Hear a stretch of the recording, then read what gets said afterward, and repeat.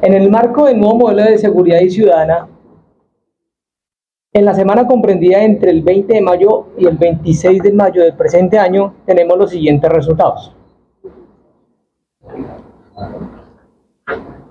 Se lograron la, captura de 24 personas por diferentes delitos en cada uno de nuestros municipios. Seis de estas capturas se logran mediante diligencia de allanamiento en diferentes departamentos, perdón, en diferentes municipios por el tráfico, porte y fabricación de estupefacientes. Los cuadrantes, los cuadrantes logran reducir o mejor dar los resultados por seis capturas por los delitos de receptación, en las cuales logramos la recuperación de dos motocicletas, un vehículo y tres celulares, los cuales serán devueltos a sus propietarios legales. Adicional a eso se logró la incautación de divisas por un, por un valor de 51.940 dólares, los cuales obviamente serán puestos a recaudo de autoridad competente. En diferentes procedimientos también se logró la incautación de mercancía evaluada por un valor de 20 millones 600 mil pesos por diferentes delitos.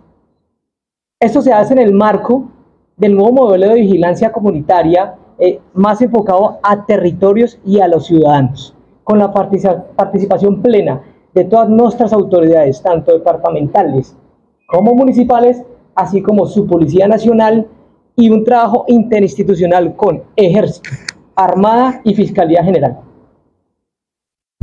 ¿Cuál es la prioridad de Coronel en, su administración llega pues a esta parte del oriente colombiano, a estar al frente de esta institución?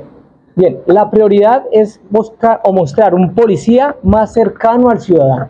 Como lo dije anteriormente, en el nuevo modelo de vigilancia se enfoca en territorios y se enfoca en ciudadanos lo que hay que buscar es buscar un policía más participativo, más unido a la comunidad. Coronel, ¿cómo se va a manejar el tema del ingreso a Arauca, la orilla del río, todas estas zonas que son vulnerables? Importante el trabajo que vamos a hacer con el Ejército Nacional, con la Policía de Tránsito para realizar los respectivos controles de ingreso e individualización de personas en cada uno de estos puntos estratégicos que son importantes para el control de la seguridad ciudadana en el departamento de Arauca. Coronel, usted ha dicho trabajar la prevención de la mano con la comunidad. ¿Cómo se va a hacer este trabajo? Es un trabajo importante e interesante y es un reto grande que tiene la institución. La idea es interactuar e integrarnos o integrar mejor nuestras capacidades para el servicio de la comunidad. Obviamente siempre de la mano con ellos. Tenemos que ser más participativos, más educativos, más compenetrados con nuestra sociedad. Coronel, el personal sí y tiene suficiente personal para los patrullajes en Arauca Capital.